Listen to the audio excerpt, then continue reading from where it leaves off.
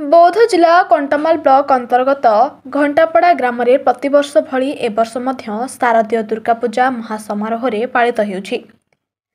Jayalakshmi club ଓ ସମଲେଶ୍ୱରୀ ଯୁବକ ସଂଘର ମିଳିତ ଓ ଘଣ୍ଟାପଡ଼ା ଗ୍ରାମ୍ୟ କମିଟି ସହଯୋଗରେ ପାଳିତ ହେଉଥିବା ଦୁର୍ଗାପୂଜାରେ ପ୍ରଥମ ଥର ମହିଷାସୁର ଦରବାର ପ୍ରସ୍ତୁତି କରାଯାଇଛି।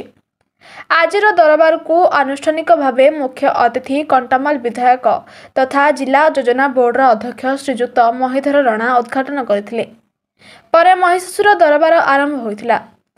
ଉକ୍ତ ଦରବାରରେ ମହାରାଜ ମହିଷାସୁରଙ୍କ ନିର୍ଦ୍ଦେଶକ୍ରମେ ମୁଖ୍ୟ ଅତିଥି ଭାବେ ମାନ୍ୟବର କଣ୍ଟାମାଳ ବିଧାୟକ ଶ୍ରୀଯୁକ୍ତ ମହିଧର ରଣା ଯୋଗଦେଇ ଅଞ୍ଚଳର କଳା ସଂସ୍କୃତିର ବିକାଶ କରିବାକୁ ହେଲେ ଏକ ସ୍ଥାୟୀ ମଞ୍ଚର ଆବଶ୍ୟକତା ରହିଛି। ସ୍ଥାୟୀ ମଞ୍ଚ ଦ୍ୱାରା ଅଞ୍ଚଳର କଳାକାରମାନଙ୍କ ଅନ୍ତର୍ନିହିତ ଗୁଣକୁ ବିକଶିତ କରିବ।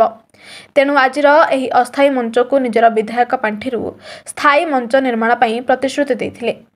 ସେହିପରି ସମ୍ମାନିତ ଅତିଥି ଭାବେ ସ୍ଥାନୀୟ ସରପଞ୍ଚ ଶ୍ରୀମତୀ ରୀତା କହାର ଜମିଦାର ବସନ୍ତ ମାଝୀ କଣ୍ଟାମାଲ ବ୍ଲକ ମିଳିତ ଶିକ୍ଷକ ସଂଘର ସଭାପତି ନୀଳାଚଳ ଭୋଇ ଘଣ୍ଟାପଡ଼ା ଥାନାଧିକାରୀ ବଳଭଦ୍ର ଗଣ୍ଡା ସ୍ଥାନୀୟ ଯୁକ୍ତ ଦୁଇ କଲେଜର ଅଧ୍ୟାପକ ପରେଶ ସାହୁ ଗ୍ରାମ୍ୟ କମିଟିର ଉପଦେଷ୍ଟା ସୁଶାନ୍ତ ମାଝୀ ବ୍ଲକ ବିଜେଡି ସଭାପତି ପ୍ରେମରାଜ ରଣା ସମାଜସେବୀ ସୁଜନାନ ସାହୁ ଅଶୋକ ସାହୁ ଓ ସ୍ଥାନୀୟ ସାମ୍ବାଦିକ ପ୍ରଭାତ କୁମାର ସାହୁ ଯୋଗଦେଇ ଯୁଗେ ଯୁଗେ ସତ୍ୟର ଜୟ ଉପରେ ବକ୍ତବ୍ୟ ରଖିଥିଲେ।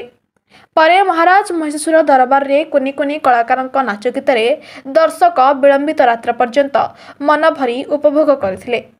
ନୃତ୍ୟ ପରିବେଷଣର ସମସ୍ତ କଳାକାରଙ୍କୁ ମହାରାଜ ମହିଷାସୁର ତାଙ୍କ ଦରବାରରେ ମାନପତ୍ର ପ୍ରଦାନ କରିଥିଲେ। ସଭାକୁ ଅଶୋକ ଦେହୁରୀ ପରିଚାଳନା କରିଥିବା ସ୍ଥଳେ ଦେବେନ୍ଦ୍ର ରଣା ଓ ବିଶ୍ୱନାଥ ସାହୁ ମଞ୍ଚ ସଞ୍ଚାଳନ କରିଥିଲେ। ପୂଜା କମିଟି ଅଧ୍ୟକ୍ଷ ଗିରିଧର ବେହୁରୀଙ୍କ ଅନୁରୋଧ କ୍ରମେ ନିଜେ ମହାରାଜ ମହିଷାସୁର ସମସ୍ତ ମଞ୍ଚାସୀନ ଅତିଥି ଓ ଉପସ୍ଥିତ ଦର୍ଶକଙ୍କୁ ଧନ୍ୟବାଦ ଦେଇଥିଲେ।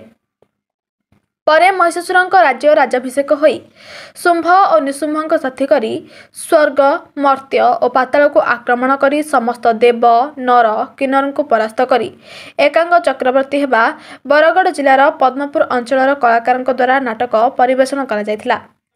ଉକ୍ତ ଦରବାର ପାଞ୍ଚ ଦିନ ଧରି ଅନୁଷ୍ଠିତ ହେବା ନେଇ ପ୍ରକାଶ କରିଛନ୍ତି ପୂଜା କମିଟି ସମ୍ପାଦକ ପପନ ପାଣିଗ୍ରାହୀ ଆଜିର କାର୍ଯ୍ୟକ୍ରମରେ ସମସ୍ତ ସହଯୋଗୀ ସଦସ୍ୟ ସହଯୋଗ କରିଥିଲେ